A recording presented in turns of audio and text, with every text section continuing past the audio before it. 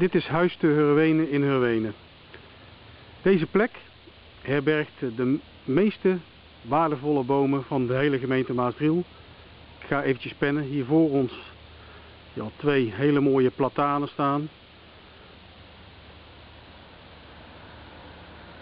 Dit hier een kapitale paardenkastanje. Pennen we weer even terug. Een klein stukje lopen. Terwijl er een auto passeert. Hier een blik op de enorme stam.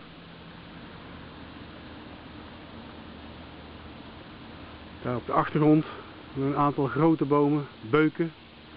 En helemaal achteraan nog een grote plataan.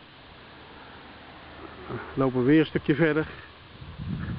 En boven de dijk hier allemaal kruinen van hele hoge bomen. Dit is nog steeds de bovenkant van die grote plataan. Even opzij voor een naderende auto.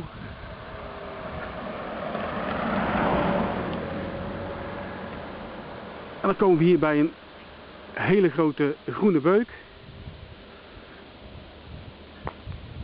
Waar inmiddels de beukennootjes onder je voeten knerpen. Hier een grote populier.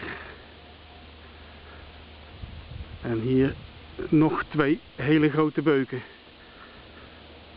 Dit stukje dijk is echt uh, qua bomen een van de waardevolste plekjes van uh, heel Maasdriel.